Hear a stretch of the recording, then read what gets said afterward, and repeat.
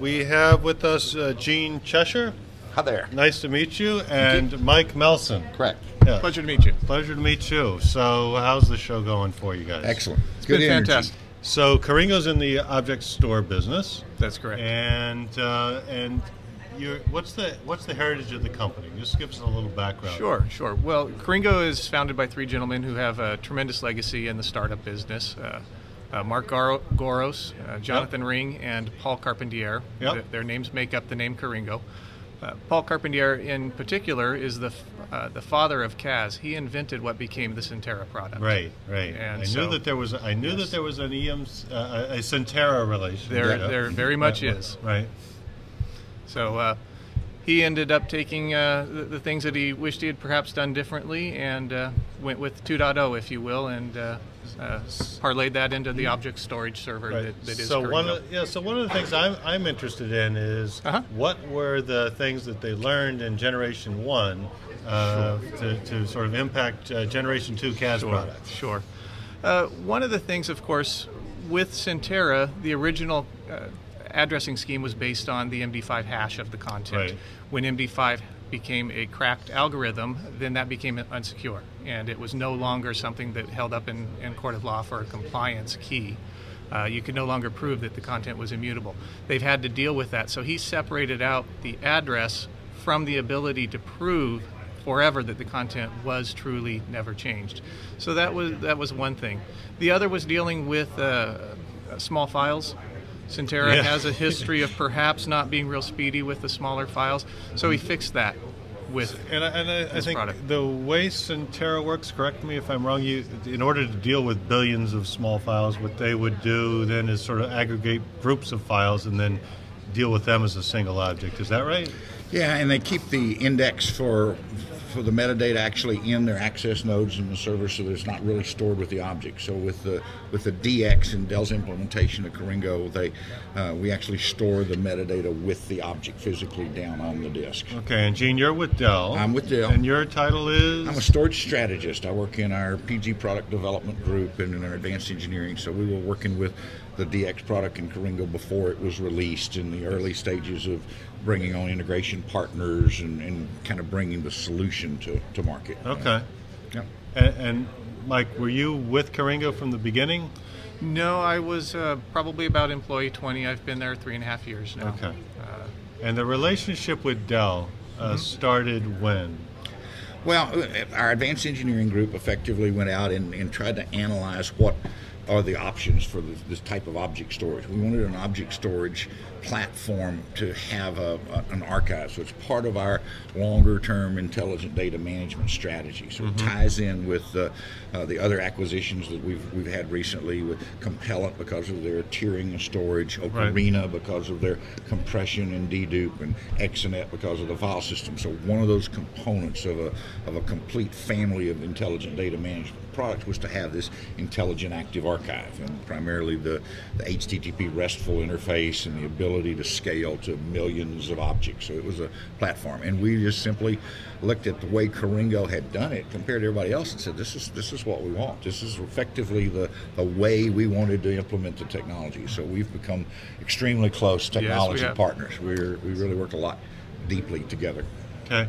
And you've got a specific device that you ship, right? Uh, uh, Correct. but you're also looking. Are you looking longer term to embed the functionality into into all of the platform across all the platforms, or is it going to stay as a separate appliance? All of the above is the proper answer. Okay. Most everything will come to market initially as individual appliances. The archive store, the compression engine, the, the Exanet file head, each of those things will come there. But eventually it's very logical to see uh, the the compression things of Ocarina in, a, in an EqualLogic controller to see the file systems and things get more integrated as you go forward. But it's a, it's about collecting the proper intellectual property and applying the right thing at the right place. And, Yeah. uh, so there is a, a, true architecture that Dell is investing in that they call uh, our new term for it is fluid data architecture. Right. Now that we've uh, got the, the Compellent in the family, but it was a was an intelligent data management fabric so that we have the proper relationship of a of a data mover, of a deduplication engine, of workload managers, and so forth, so that we break the way that data should be handled down into the smaller components, and then apply the technologies to move it more efficiently to where it where it needs to be.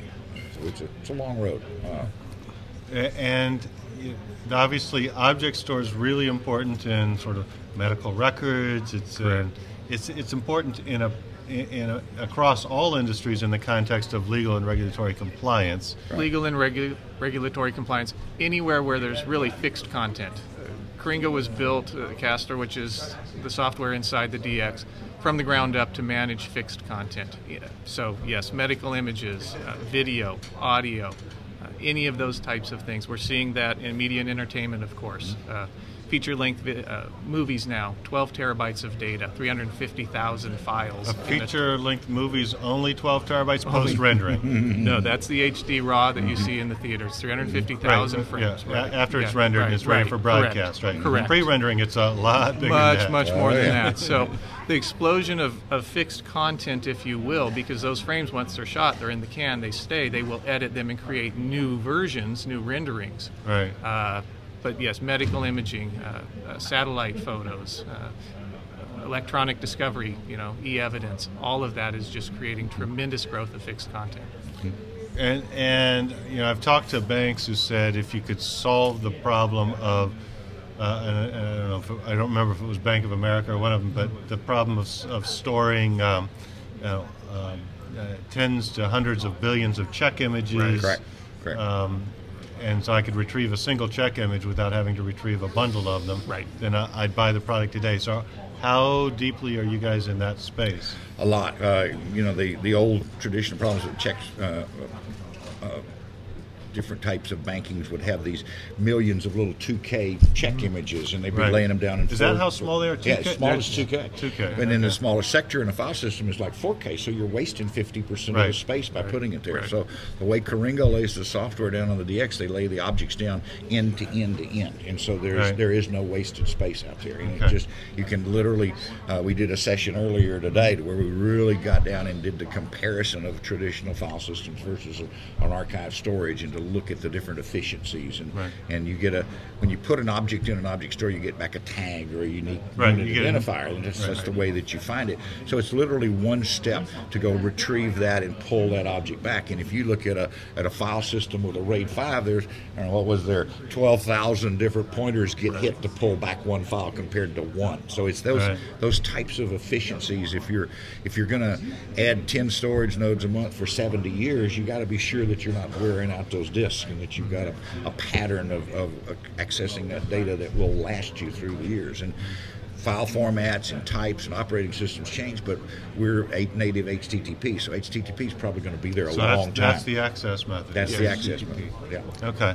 And, and is there a theoretical limit um, in terms of the number of objects Well, or, or current We can use a Class B ad network addressing scheme today, so we can logically get about 65,000 nodes, and we could store uh, 30 million items per node, depending on their size. So yeah, it's a pretty big number. it's a Uh, yeah. It's a big number. Uh, The, uh, the- the storage capacity as well as the namespacing to address that capacity, all of that is fully di- distributed. It's a symmetrical architecture, so it is hard to predict where that theoretical limit would be with the DX. As you add nodes to the system, it just keeps adding capacity. Is there an operation? Sometimes there's theoretical limits, and then there's the operational logistical limit. You know, Yeah, we like I say, we've looked at scaling uh, uh, in a mid-release in uh, December. We went to support a Class B versus just Class C networks. But first, you didn't think anybody needed more than like 250 storage nodes. But if you can get to 65,000 storage nodes at Yeah. at two terabyte drives, 12 drives per system, you can get to about a, a one and a half uh, exabytes worth of data today. Uh, but we haven't sold one that big yet. But we'd like to. Uh, we'd, be, we'd be pretty happy to find out what that limit is in reality. Uh, so uh, so obvi- medical image is big. What about in the area of social media? Because some of these social media platforms, they're sort of they're building their own.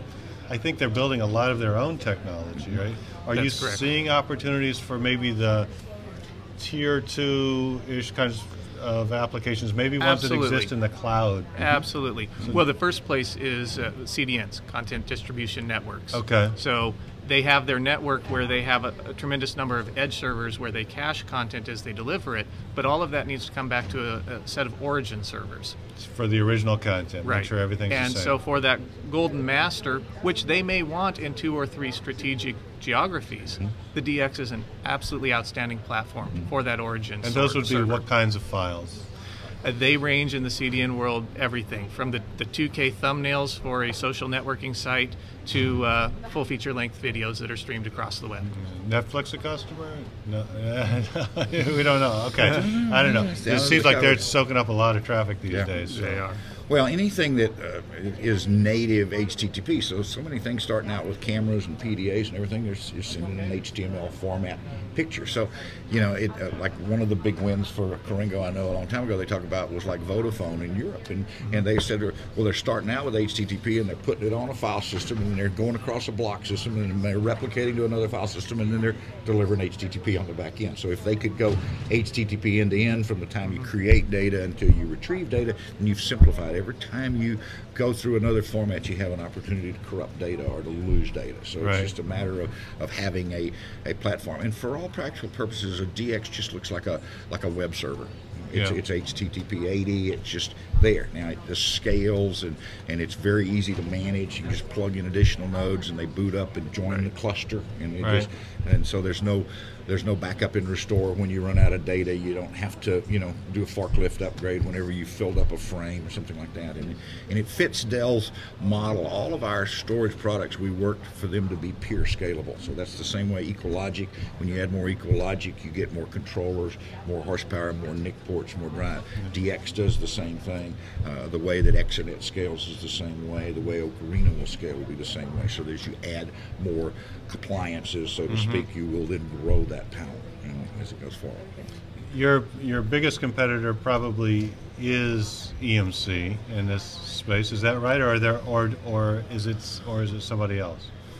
Well, we like to think we don't have any competition. of course, uh, you'd like that. simple thing. But EMC Centera has gone into life, and that was the probably platform. They have Atmos out there today. Right. In both cases, they're, they're it's, it's a it's heavy lifting to basically do business with them. They have a very heavy API. You have to like totally rewrite your software to take advantage of it. Or we're really HTTP 1.1, and, uh, and instead of a write, you do a put, and instead of a, a read, you do a get. It's just extremely simple to do that. And so the the porting is, is gives us another set of scale. There's a few others out there, but they're they're making it look like an object uh, uh, where they'll have a file system below, right. or they'll be keeping the index in a server instead of really down with the data. Right. So this is the purest right. application that we've seen of what we truly call a true object store. So you would say the wave of the future is accessed by HTTP.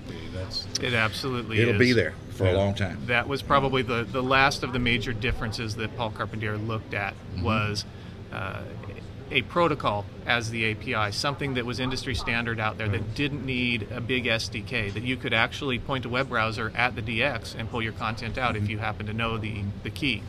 And uh, so it's being validated out there, of course, by some folks like Amazon with S3. You know that HTTP is the way to access cloud and object storage. Mm-hmm. You can think of it as a private cloud, but then there's just people are learning different use models. I mean, it, it was originally thought of very much as being a second or a third tier of storage, but again, in medical, if you're reading 100 meg files, it's, it's primary storage to them. It's Absolutely all they need primary. because of that so you need type some, of application. You need some performance characteristics yeah. that are fairly significant. Right. right? Mm-hmm. Well, and that's why there are features such as what we call Darkive, where you have perhaps petabytes of data, but most of it's long tail. It won't be accessed. Medical images right. will sit there. And you need those available. You don't know when the doctor's going to need that x ray, but when he does, it's got to be there. Yeah. And so we'll fill up DX nodes and then power them down. Mm-hmm. And until the content is needed, those disks will stay spun down. You get 30% power savings mm-hmm. until you need the content, and then it's available almost instantly.